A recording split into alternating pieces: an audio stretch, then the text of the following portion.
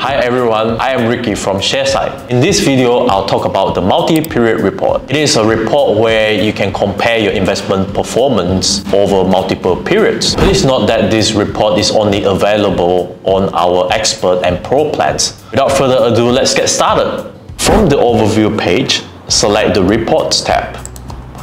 The multi-period report is under the Performance Insight section. Now we are in the report, the first thing is to select the periods that you like to compare. We have several default options here. You can compare returns by financial year, calendar years, quarters, months, weeks, or you can set a custom periods.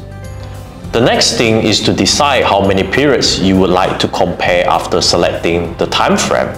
Click Next once you have done. Here you can see the report has populated all the periods you have selected earlier.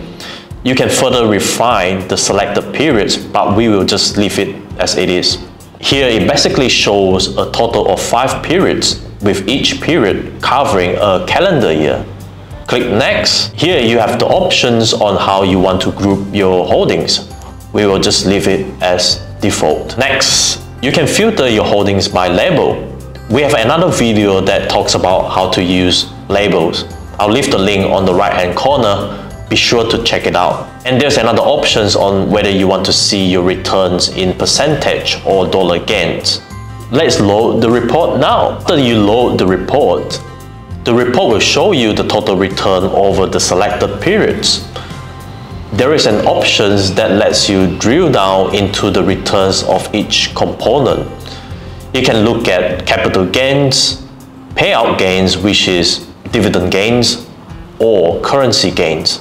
Generally, there are two ways to look at returns over multiple periods. There is the discrete period and the overlapping periods. Discrete periods refer to specific non-overlapping time intervals that are clearly defined and separated from each other. In this example, each period consists of a specific calendar year, as overlapping periods have overlapping times interval. Fund managers often use overlapping periods to show their fund performance. They will show how the fund has performed perform over one year three years, five years, and 10 years period. So the one year return is included in the three years return. And both the one year and the three years return are both again included in the five years return and so on. Now, should you use the discrete period or the overlapping periods to analyze your portfolio return? The answer is it depends on what are you trying to find out. Discrete periods are useful for analyzing and comparing data within a specific time frames. It captures captures the nuances of market dynamics, such as how a stock will react under different economic conditions or market event. So you can identify patterns or trends that you can take advantage of to improve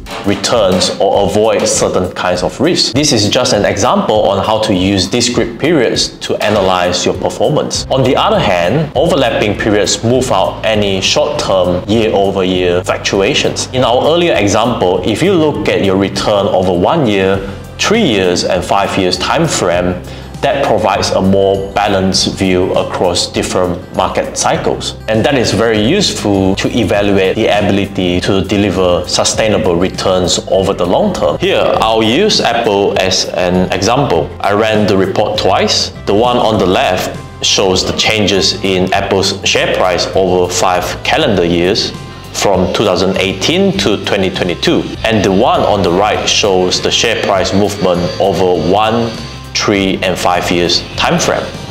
I've excluded returns for 2023 just to make it easier for comparison. First thing you notice is there's a higher fluctuation in share price movement from one year to the next compared to the return over one, three, and five years.